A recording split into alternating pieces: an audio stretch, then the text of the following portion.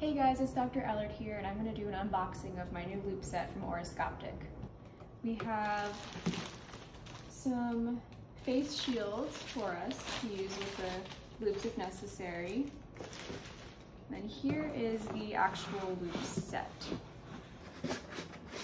Comes in a nice carrying case. Okay, so now I have the loupe carrying case here for you to see. It's pretty sturdy, which is good, but compact.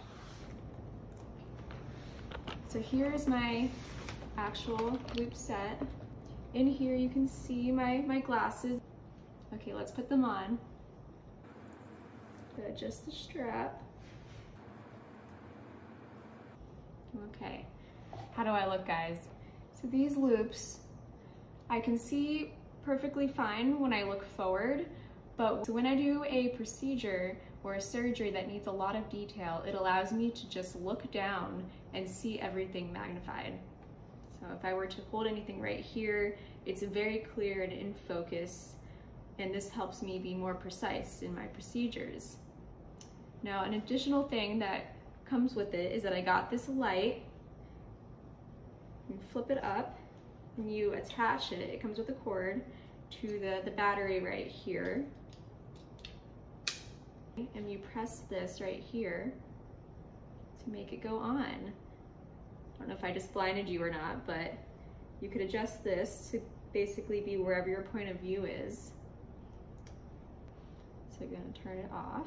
And also this has a, a, clip on the back so you can clip it to whatever you need to when you do your surgery. You can stay sterile, you can have someone else, you know, clip it for you. You can choose from a variety of styles, but I, I really like this one. I like the fact that it has a light on it. They have one that with a built-in um, battery pack, but it makes it really heavy in my opinion, so I wanted something a little lighter. That's why I got the, the additional battery pack that you can just clip on your side. It also comes with a, a little charger for you to plug in, and it fits all in this, this beautiful case right here. So now that you've seen the pair of loupes on me, I'm gonna show you what it actually looks like to be viewing through the, the loupes.